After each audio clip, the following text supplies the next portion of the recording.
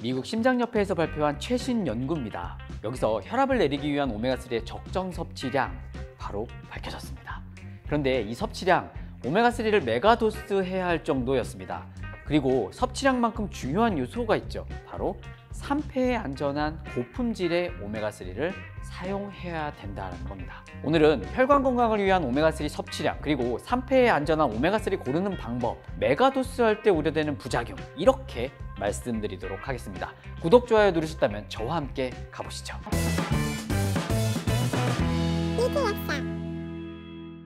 먹는 것이 곧 나를 만든다. 안녕하세요. 레트 약사입니다. 2022년 미국 심장협회에서 발표된 이 연구 오메가3 EPA와 DHA의 합을 1에서 5g까지 이 다섯 그룹으로 나눠서 먹게 한 뒤에요. 안 먹는 그룹과 비교해 혈압에 어떤 영향을 끼치는지 살펴봤습니다.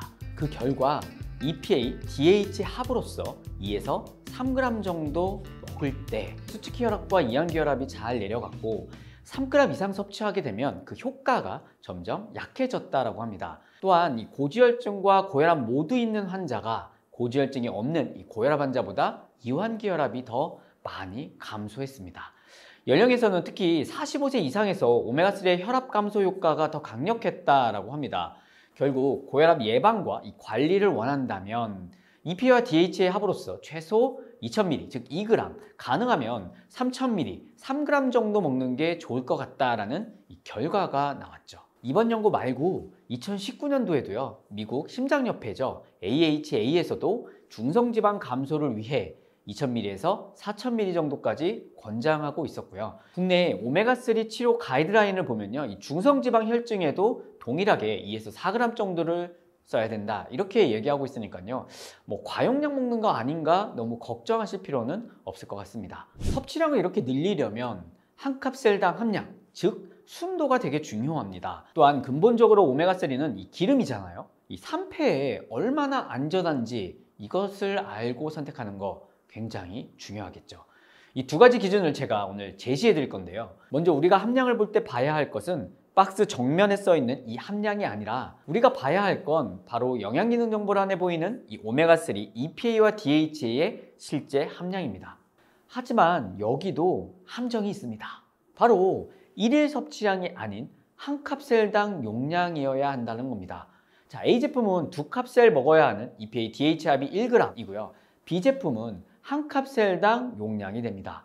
만약 A 제품으로 2000ml에서 3000ml를 섭취하려면 최소 4알에서 6알을 먹어야 되기 때문에 이 불편함 어떻게 할 수가 없습니다. 한 캅셀당 보통 3알에서 4알 사이로 먹을 수 있는 제품을 권해드립니다. 즉, 한 캅셀당 800mg 이상 순도 80% RT 제품을 선택하시는 게 메가도스 할 때는 훨씬 편하실 겁니다.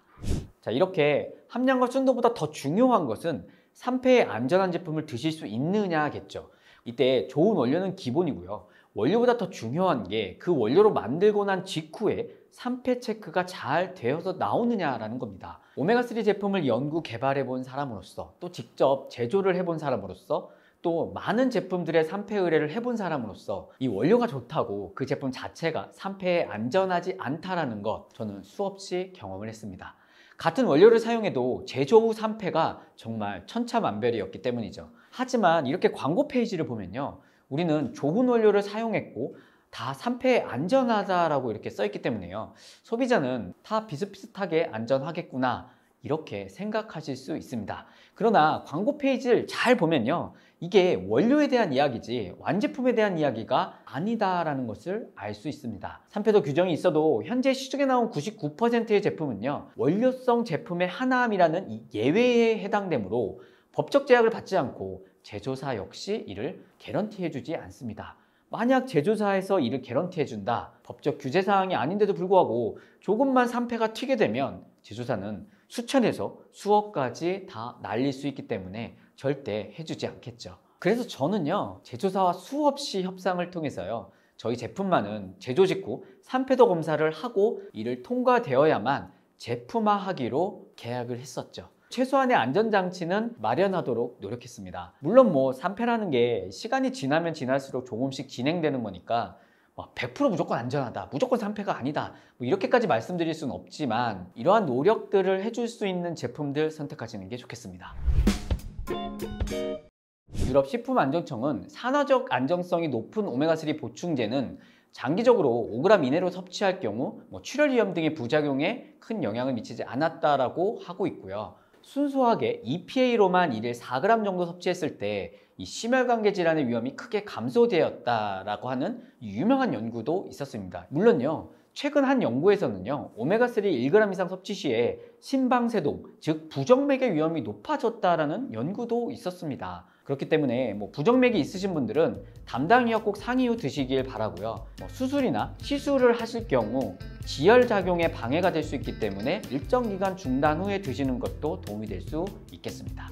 오메가3는 이 염증을 억제해 줄 수 있어 염증의 원인인 여러 만성 질환에 참 좋습니다. 오늘 내용도 잘 활용하셔서 여러분 건강에 도움이 되시길 바라겠습니다. 못 고치는 병은 없습니다. 못 고치는 습관만 있을 뿐입니다. 구독, 좋아요, 댓글, 알림까지 잊지 마십시오. 지금까지 리틀엑스였습니다. 구독을 원하신다면 이쪽, 더 많은 영상들을 보고 싶다면 이쪽.